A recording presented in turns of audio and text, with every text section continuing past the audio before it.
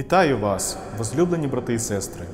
Сьогоднішнє євангельське читання 23 глави апостола Матвея є логічним продовженням вчорашнього гнівного звернення Христа Спасителя до фарисеїв. Вчора ми чули з вами передрікання трьох бід книжникам і фарисеям за їхнє зловживання своїм становищем, а саме за їх лицемірство, згубний приклад життя для інших, власне збагачення за рахунок вдів, зовнішня тривала молитва для отримання похвали від інших, духовна сліпота та духовне травмування інших. Горе вам за це, говорить Спаситель. Продовжуємо слухати, які ж вади фарисеїв та всіх тих, хто їхнього духу осуджує Христос сьогодні.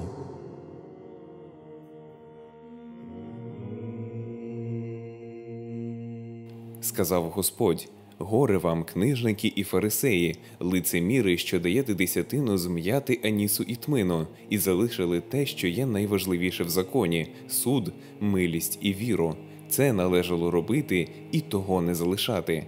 Вожді сліпі, що відсіжуєте комара, а верблюда поглинаєте. Горе вам, книжники і фарисеї, лицеміри, що очищаєте зовні чаші і блюда, тоді як усередині вони повні крадіжки і неправди. Фарисею сліпий, очисть спершу всередині чаші і блюда, щоб чистою була і зовнішність їхня.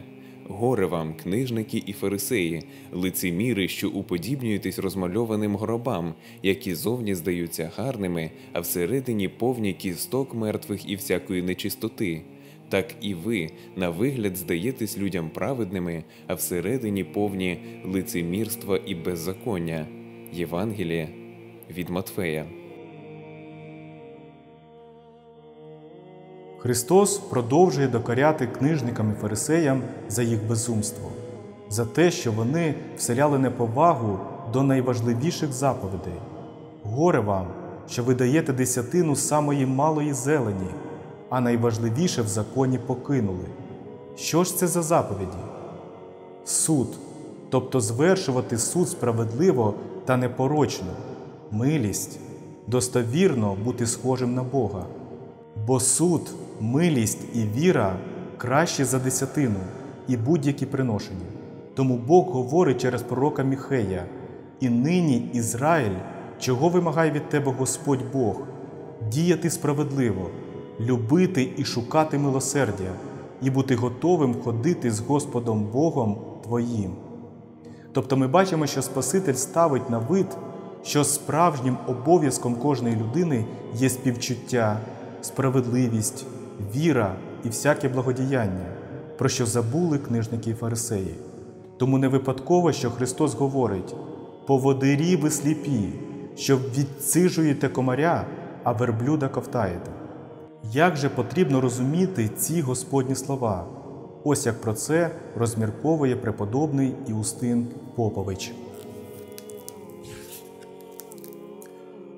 Важка духовна сліпота і приголомшливе духовне безумство.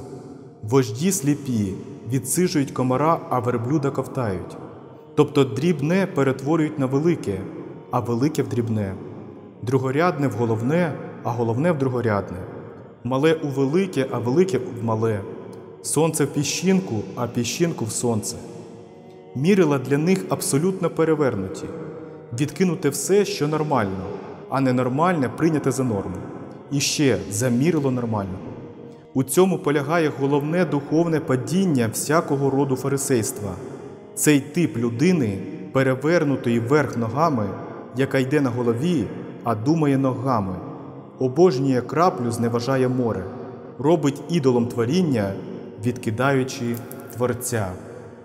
Святий праведний Іоанн Кронштадтський запевняє, що таких вождів вистачає і зараз.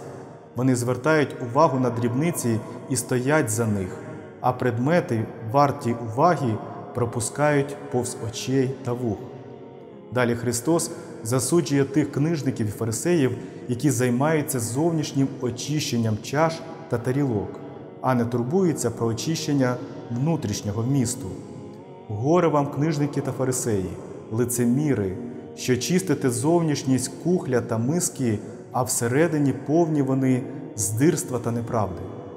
Ось як роз'яснює цей євангельський вірш преподобний Іустин Попович. Проводячи реформування людини і суспільства, вони займаються пранням та прасуванням одягу, змінюють уніформу.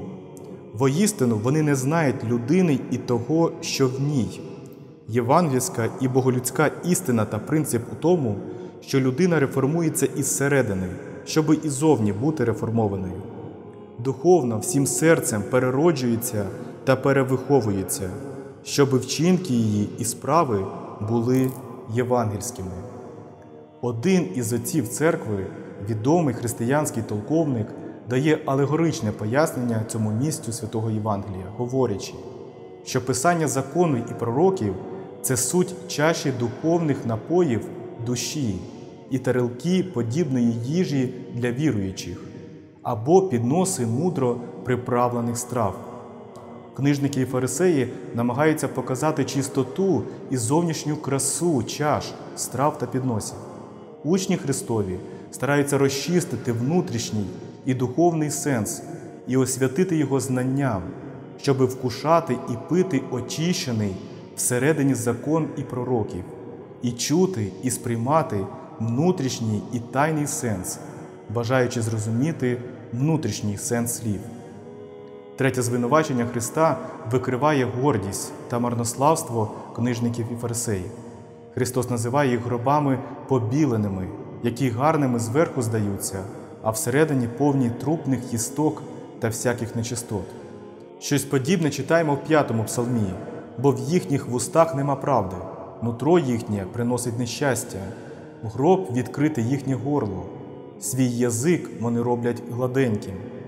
Ось як говорить цар Давид, їхнє горло відкритий гроб.